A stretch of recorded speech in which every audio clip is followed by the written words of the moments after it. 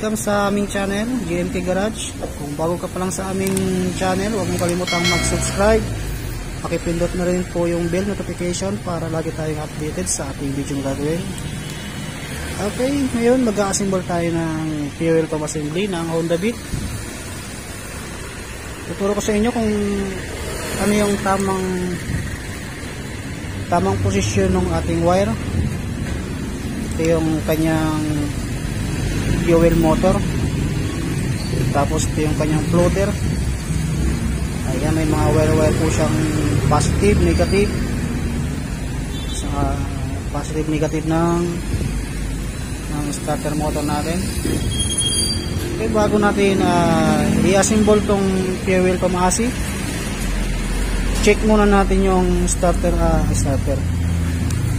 Yung kanyang fuel pump, fuel pump motor.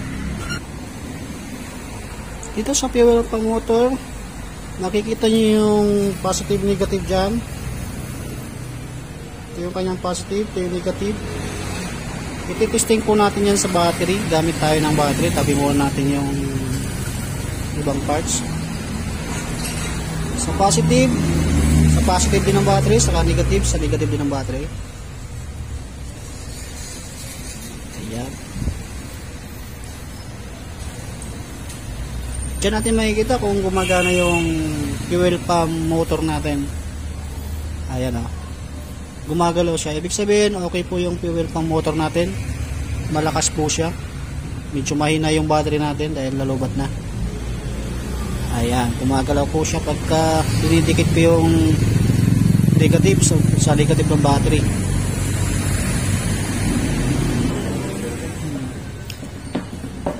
Ganito po ang pag-test kung gumagana yung fuel pump motor natin.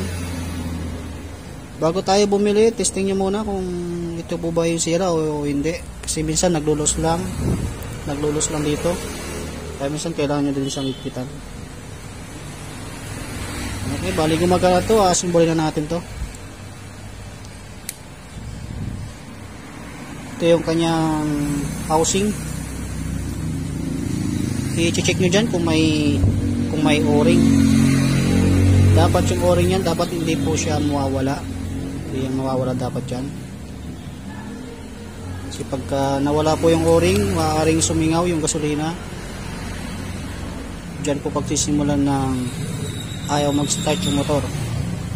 Yan siksik nyo ng ganyan. Tapos tuturo ko sa inyo kung saan ito nakalagay yan kung saan nakalagay yan. Simbolin mo natin to. Ito yung kanyang filter. Itatapat mo po yan dito. Yan. kasi hindi nyo rin yan may papasok pagka baliktad. Yan, hidiin nyo lang yan. Yan, tumunog. Yung floater nya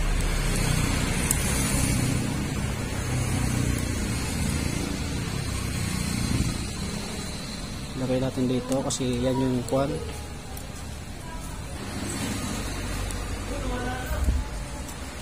Nakabit na natin to yung mga wire nya itong itong itong kulay na to yan yung positive natin. Yung positive natin dito natin ilagay. Yan dyan yung positive tapos yung green light green. Dito rin dito nyo rin yan ilagay. Yan sa unahan. Dapat po hindi magkabaliktad dyan kasi hindi aandar yung fuel pump natin. Hindi siya magbubuga ng gasolina pagka baliktad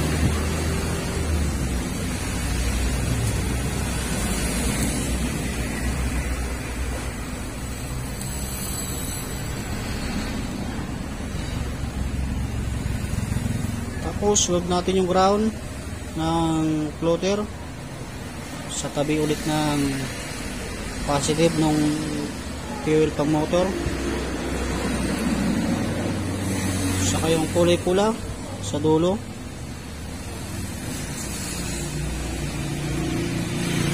Dapat nakasiksik mabuti yan. yung parang hindi siya maglulos ganyan lang po pag nagtitesting tayo ng fuel pump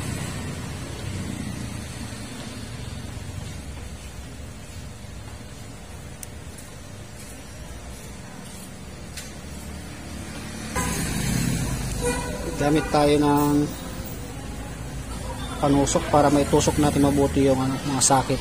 Kailangan dito hindi maluwag. Siksikin natin mabuti.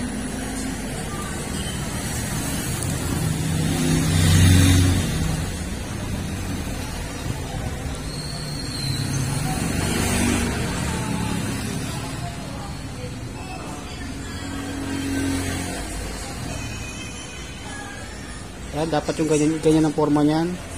Negative, positive, negative, positive. Yan ang mga forma niyan. Pagka nag-install tayo ng ng wire nito. Siyempre, lalagay na lalagay na rin natin yung bagong filter.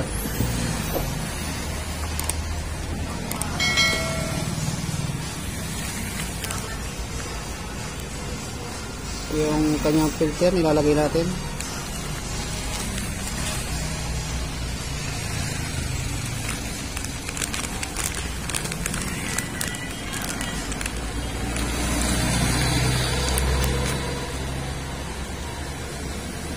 okay mauuna muna yung o-ring na maliit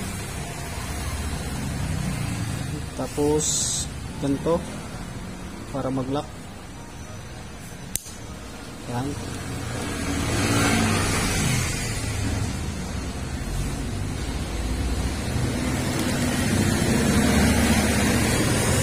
Yan, na-assemble natin. Ganyan lang po kabilis pagka nag-assemble tayo ng fuel pump assembly. Tapos kung paano rin mag-check. Yan, ganito na lang yung ating video. Salamat.